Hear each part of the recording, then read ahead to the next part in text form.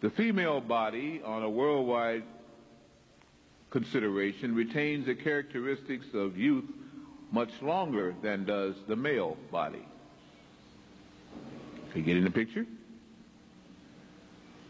Less or fewer women have hardening of the arteries than men, the incidence of ulcers in men, and again, most of the deterioration and the signs of age show less in the female body than they do in the male body. Told you I was going to prove a point. There's more heart failure and apoplexy in men than there is in women.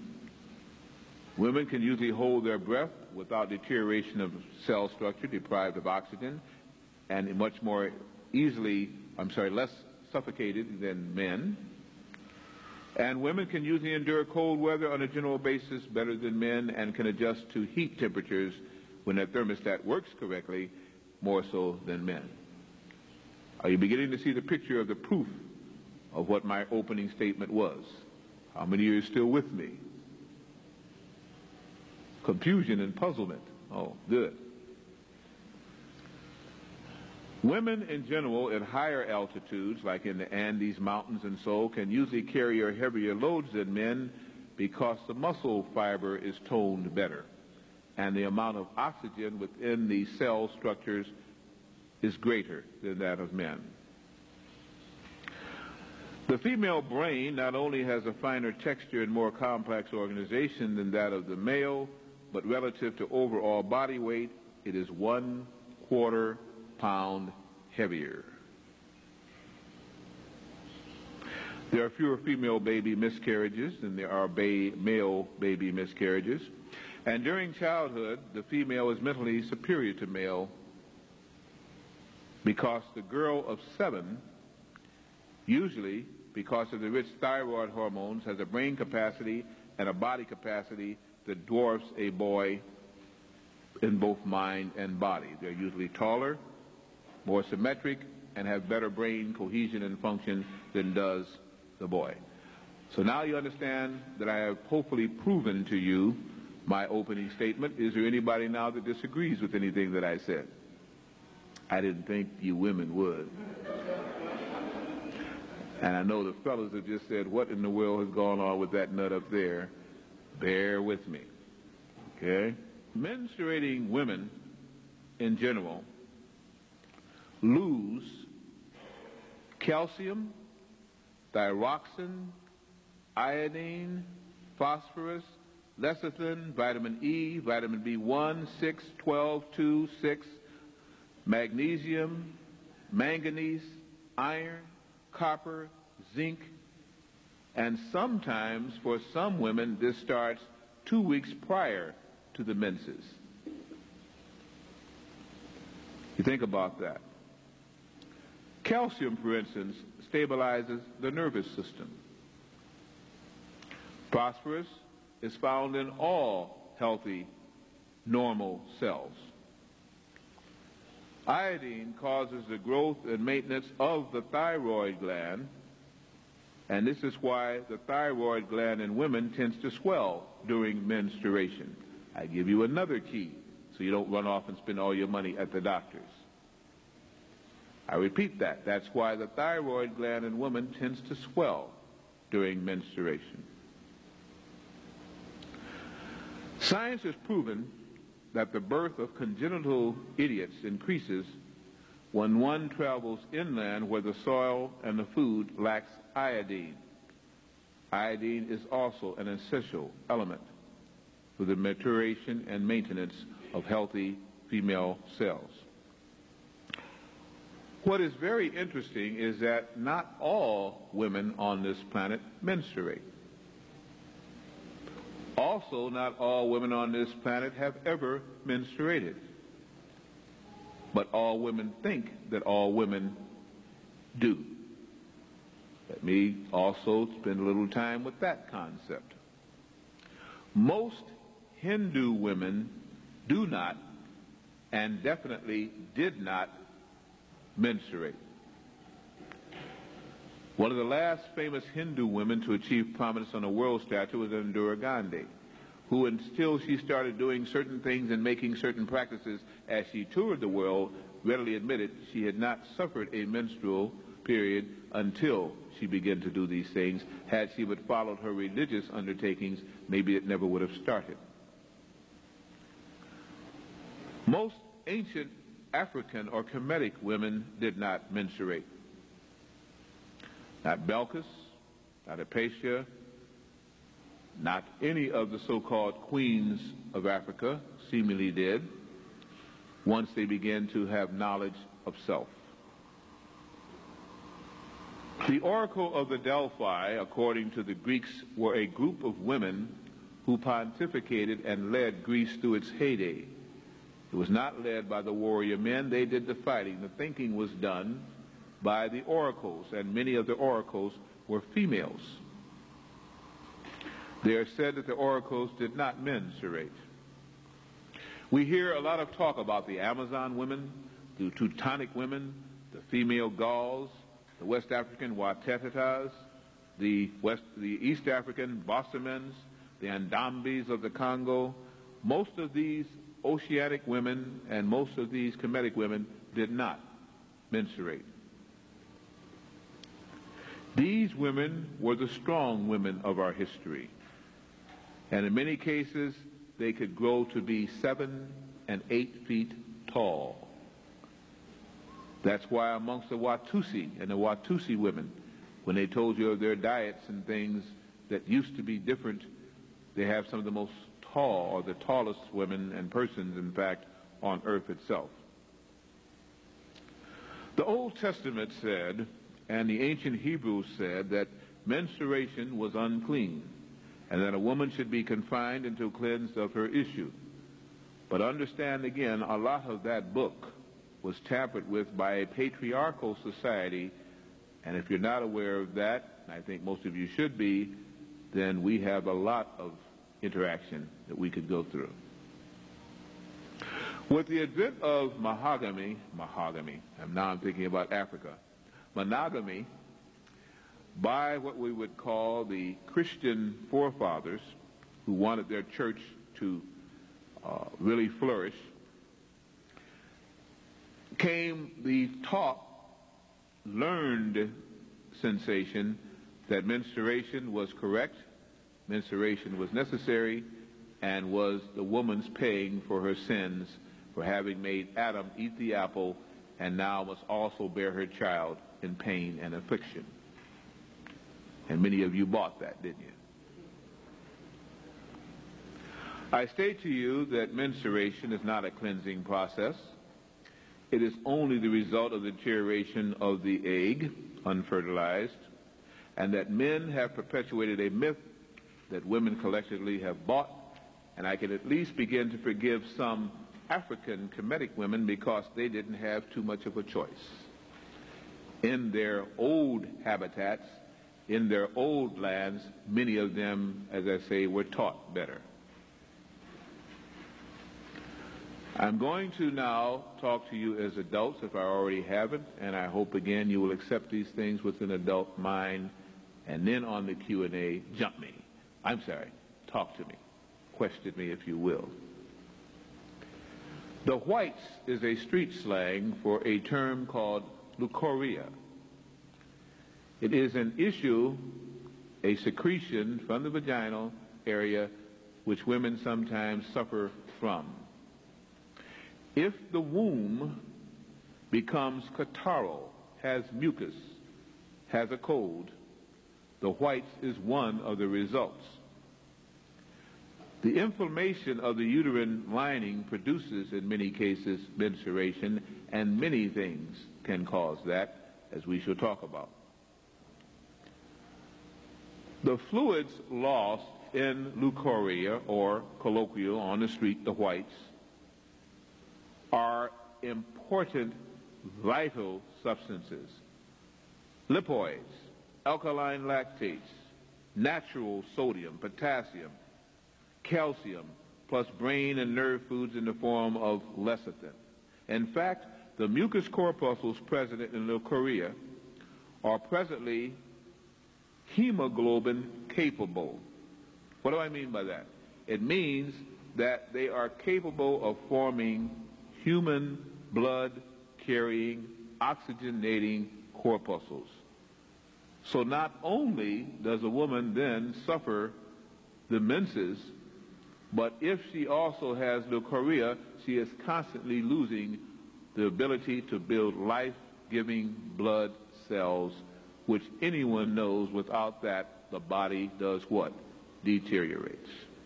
Some women are on a constant menses.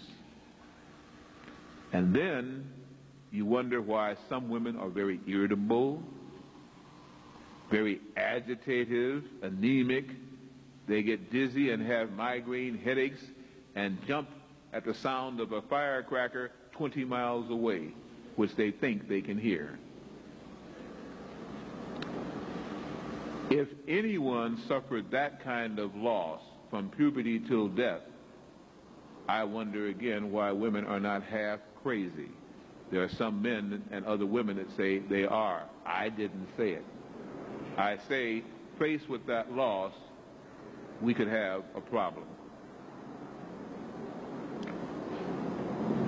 I state that if the menses was cessated, if it stopped, if the blood loss and even the alkaline leukocyte loss was ceased and stopped, then not only would women be very strong, and they wouldn't be intuitive, they would be psychic, but they also could give birth to babies without a man being anywhere around.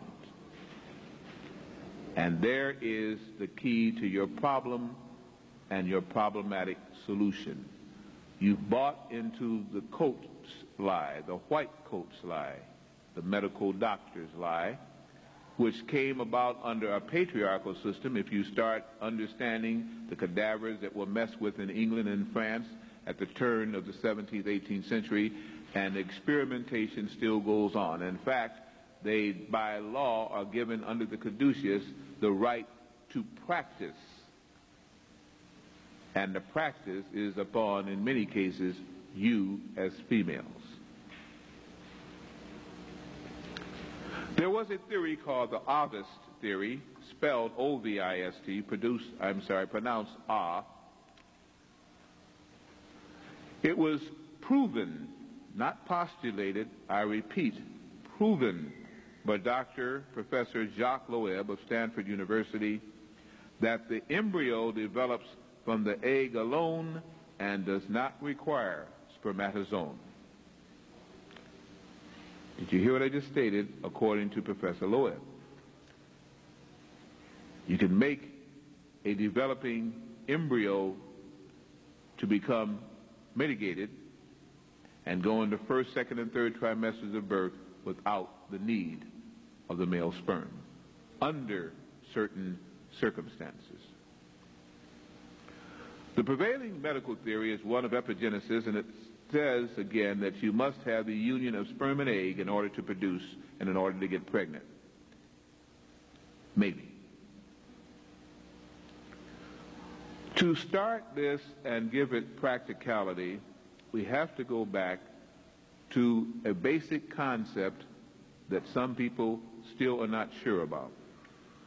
I state that women had to have been created before men or formed before man because you cannot get a man from a man. You cannot get a woman from a man, but you can get a man from a woman and you can get a woman from a woman and think about that.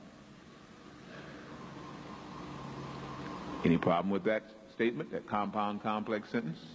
I don't have one. This is what the old church the Church of England, and under King Constantine and the Bishop Eusebius, the Church of Rome had to get rid of and had to change. The last honesty amongst Caucasian principalities dealing with Christianity and especially Catholicism came with the onset of the Greeks who broke away into the Greek Orthodox Church because they got tired of the lies that were being formed and wanted to continue with some semblance of truth from the Greek society the last time when the Caucasians told truth.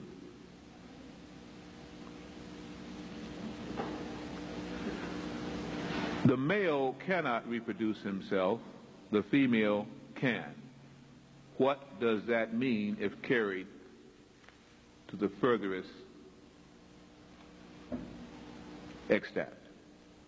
It means that if the woman also could decide whether she was going to produce a male or a female, the race of man could cease to exist, as we now understand it as a double gender.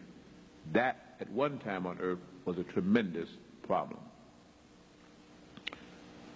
The universal cosmic age theorem is that a cosmic egg was created and from that generated everything, and that in the egg still is the semblance of first creation. Things start from an egg, whether it be a hard shell finish or a little ovum attached to the uterine wall. Which came first, the chicken or the egg? In 1975, they connected a vibrational detecting device to an unfertilized egg. And they got a rhythmic pulsing beat just like that of a human heart or pulse. What is generally an unfertilized egg? Somebody kind of share with me quickly from the audience? What's the difference between an unfertilized egg and a fertilized egg. Chicken didn't mate, no males around. Yet they have detected, and that experiment has been tried and tried again, some kind of rhythm or pulse within that egg itself. They also found in vertebrates, those that have a central vertebral column again, a spine, if you would, that on the phases and oscillations of the moon, that pulse varied, but was always even more intense. We understand that humans are the dominant species on this planet Earth. We are the masters, we are the greatest, and everything else is beneath us, right? Right. Right, yeah, right. The acorn, which has a seed, a phylum of vegetable and plant, contains everything in it that the seed needs to become a mighty oak, including a print on its phloem showing what it's going to look out when it matures, what it's going to look like. Isn't that interesting? Ever cut an acorn in part and looked at it? I mean, some of these mutated acorns now that have been gassed and pre-picked, you can't tell anything from. But get the real seed of an bone acorn, and what do you have when you cut it in half? Picture of a tree. I mean, that's somebody really uh, blueprinted that one. They already said, this is what you're going to look like when you grow up. And that's just on a little acorn. Okay? Let's go to another phylum, an animated phylum, the silk moth. The silk moth reproduces and never mates reproduces without a mate. The lowly aphid reproduces without a mate. And as the ancient Egyptians tried to point out, the scarabus, scarabus beetle, reproduces without a mate and can shed its skin and goes along every seven years quite well. It dies when it does mate. And if you remember on the Ankh and the Scarabaeus, you found in your Valley of the Kings, and you found again amongst the pyramid and on the Sphinx itself that sacred symbol of the Scarabaeus. They were trying to convey something. Most of us have forgotten or never knew what they were trying to convey. Dr. Edward Bischoff, MD, started this modern theory of epigenesis in I'm sorry, 1854. I want you to jot on that date because people think this has been going along for a long time. It has not. That's close to the turn of the century. Dr. Edward Bischoff started the theory and the story of epigenesis in 1854. That is, that the zygote and the uterine development by union of sperm and egg was the way that humans get started. The first trimester after fetal conception.